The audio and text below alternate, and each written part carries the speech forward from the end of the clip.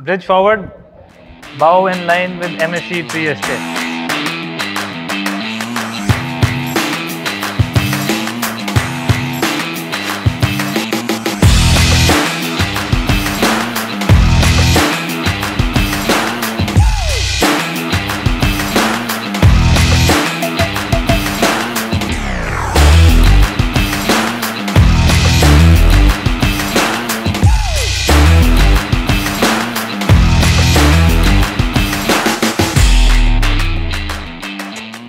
Captain forward, both anchors ready for emergency.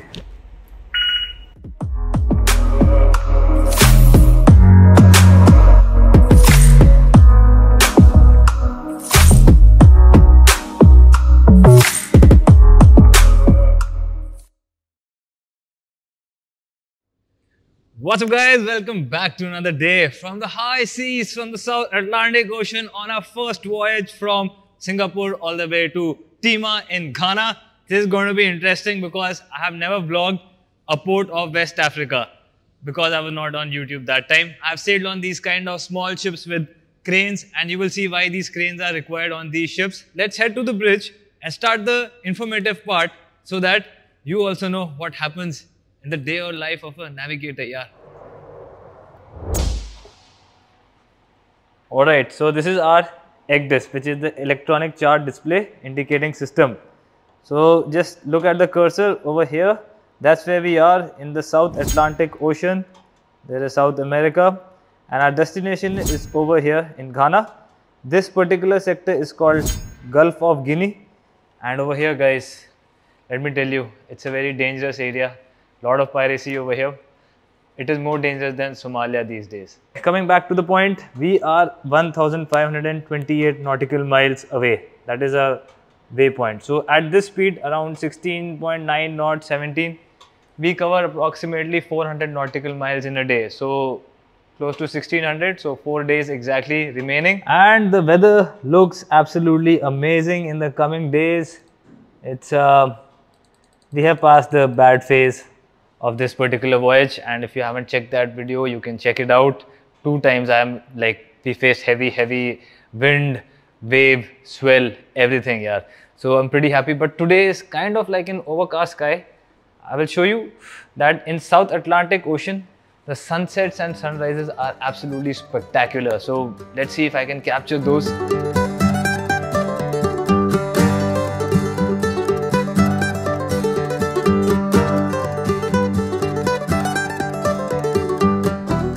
Over the course of the next few days, everything went well. We covered our 1500 nautical miles until we reached the arrival day where we were in for a surprise.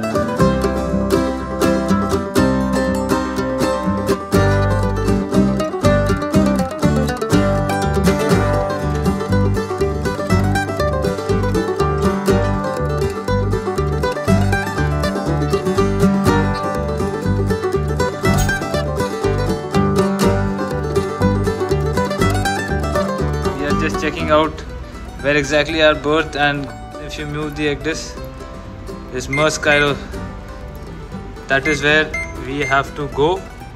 So we have to wait right now for this ship to go out. Till that time we are standing by on the various channels VHF channels.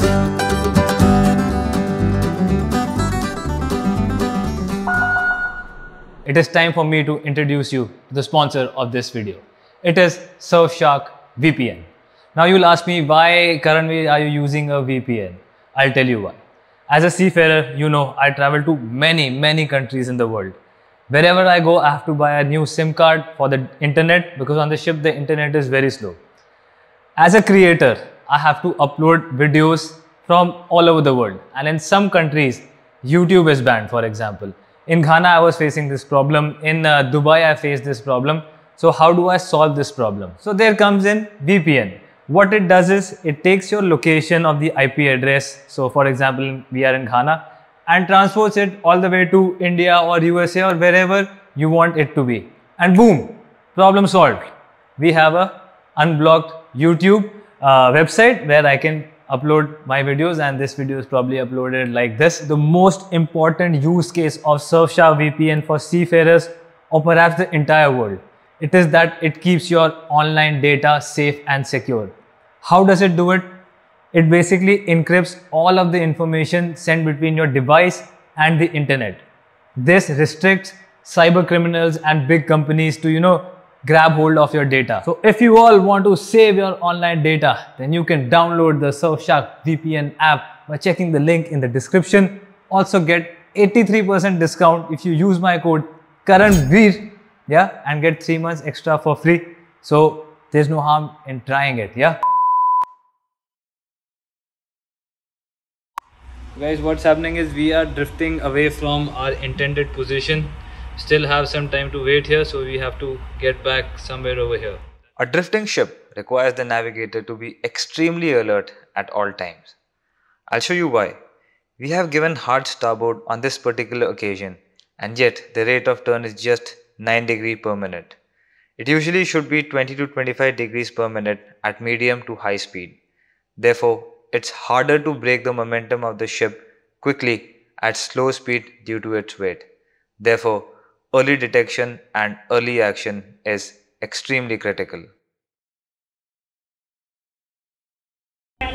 embarkation ladder should be at the starboard side 1 meter above the water. Over. Okay.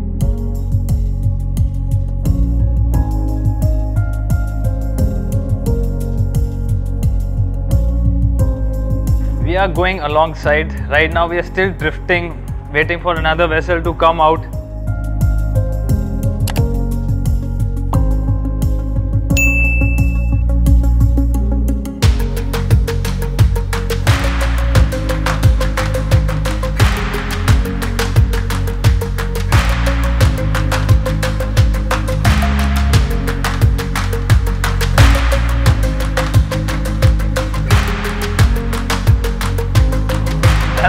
by. Forward station. The guys have already prepared the ropes as you see and that ship which is coming out was exactly the ship we were waiting for. Captain forward, both anchors ready for emergency. Very well. So, uh, as usual, the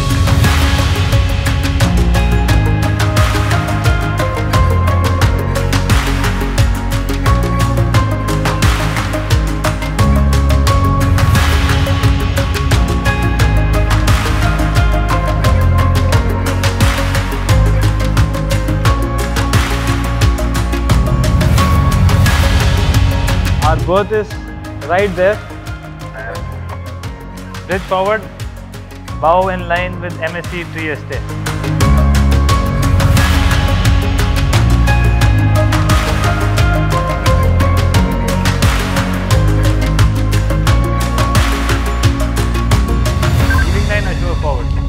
Mooring a ship is one of the most dangerous operations we conduct on board. It demands good coordination, teamwork, and effective communication. There is absolutely no margin for error, as one mistake can cost a life.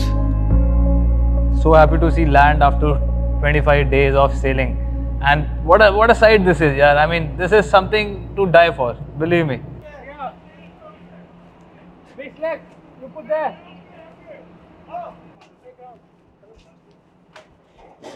Okay, thank you, thank you guys. Same cabin forward, uh, all headlines on 60%, springs on brake. Thank you, for.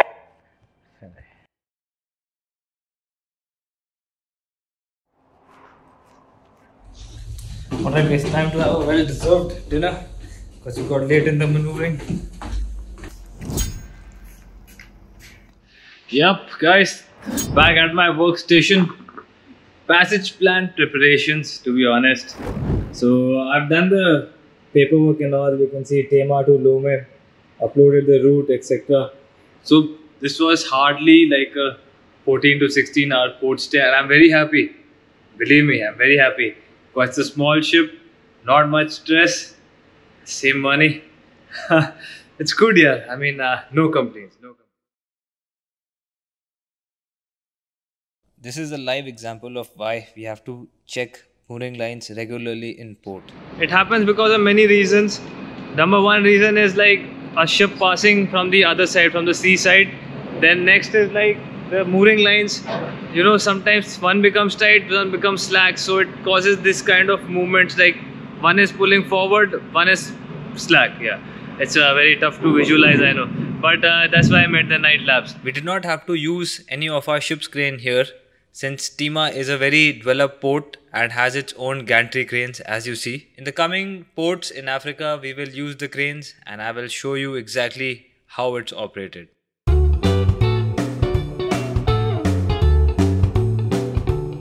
Desmond, ready for departure? All set, guys. So I just came down on the jetty to check the drafts, the final departure drafts. The, this is a loose line we have on the ship. We are right now just three and four and two, four headlines, two spring lines. Uh, Fahim, let me know when we can take out of auto tension. Naman, you can take out auto tension, no? From there. Captain, uh, we will be making fast data. Let me know once you made it fast.